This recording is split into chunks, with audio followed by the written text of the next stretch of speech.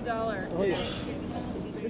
This film, I think, is it. You know, to touch people. Again, my name's Shawn Welling, the messenger 360 Days of Bolivar. Oh, absolutely. Ugh. Michael or, Michael for sure. yeah, And, uh, I haven't seen a movie this powerful since The Passion of the Christ. give me enough beer to last for a year. It's just a reminder of how real life is so much more exciting than anything we could ever write or make up. Absolute peace. You watch enough sunrises, absolute peace.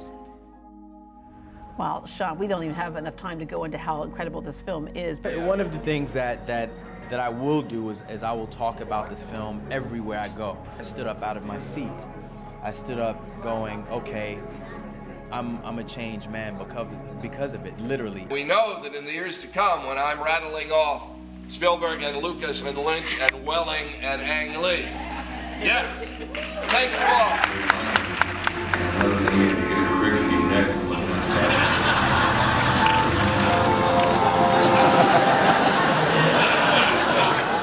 He just has this passion about life that you can't keep him down. Landmark Theater here in Houston gave you that message. Inspiring, absolutely. For me, that put it up there among some of the greatest movies that I've ever, that ever, some of the greatest films that I've ever seen. Um, it's one of those movies that literally will change people's lives. Must see movie. Gotta go see. It's pure genius. It's magic. And watch it periodically throughout the year, every year. I, I drink enough beer, I can pay it just off my damn aluminum. During the film, but afterwards, everybody likes to talk about it, and I feel blessed. humanity in each one of us, irrespective of our walks of life, I think is a profound message in this, this movie.